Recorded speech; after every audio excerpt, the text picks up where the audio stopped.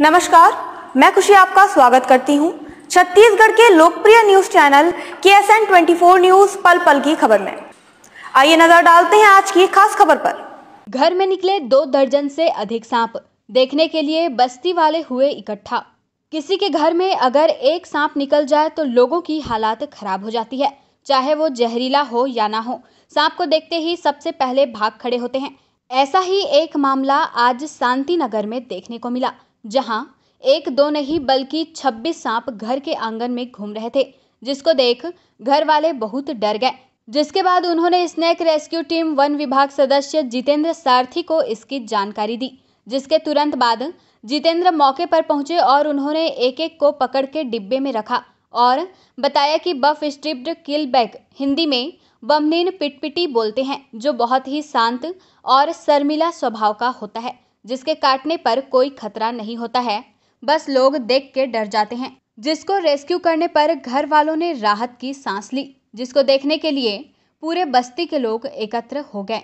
कि शांति विहार शांति नगर आपका जो क्षेत्र है, वहाँ एक घर से बहुत ज़्यादा तादाद पे सांप देखने को सूचना मिली, जिसके बाद हम वहाँ पहुँचे और सुरक्षित हमने लगातार करीबन इस रेस्क्यू करने में ही एक से डेढ़ घंटे लग, क्योंकि लगातार हर क्षेत्र पे सांप दिख रहे थे। हर पाँच पर दस फीट की दूरी पे एक लगातार सांप निकल रहे थे तो हमने देखा कि सांप है जो कि हम लोग हिंदी पे इसको जो पिटपिटी और बम्भिन सांप बोलते हैं, जो कि नॉन वेनमस है, डरने की ज़रूरत बिल्कुल भी नहीं है। तो इसको हमने लगातार रेस्क्यू किया और क्या था, परिवार डरा हुआ था क्योंकि घर पे बच्चे थे और ये तो जय- बिना जहर वाला सांप है, लेकिन क्या होता है, परिवार है, बच्चे खेलते रहते हैं और डरते हैं।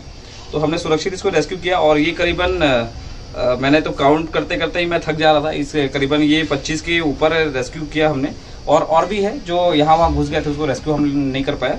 जैसे वो दिखे, हम पहुँच जाएँगे रेस्क्यू करने के लिए। इस तरीके से घर वालों ने राहत की सांस ली। भी बताएँगे आपके क्षेत्र पे क्या घटना घटी थी? अभी सुबह भतीजा मेरा आया था घर पे, जब चाचा बहुत ज़्यादा सांप निकल रहा है घर के आँगन में पीछे तरफ़। तो मैं तो आपका नंबर रखा हुआ था। मैं जितेंद्र जी को फ़ोन किया। कि भाई बहुत से ज़्यादा सांप निकल गया। कल लगभग 20 से 25 सांप और भी ज़्यादा हैं पता नहीं अब दिख नहीं रहे थे लेकिन फिर जितेंद्र साथी जी को फ़ोन किया और तुरंत वो आए। उसके बाद उसका रेस्क्यू किए हैं और सारे सांपों को लगभग 25 से 30 की मात्रा में सब सांप को रेस्क्यू करके एक डिब्बे में बंद करके ले गए हैं। अब थोड़ा राहत का सांस लेंगे हम लोग। Bureau report K S N twenty four. अगर आपको हमारी वीडियो पसंद आई हो तो हमारी वीडियो को लाइक कीजिए, ज़्यादा से ज़्यादा शेयर कीजिए और हमारे चैनल को सब्सक्राइब कीजिए। और हाँ बेलाइकन को प्रेस करना ना भूलिएगा।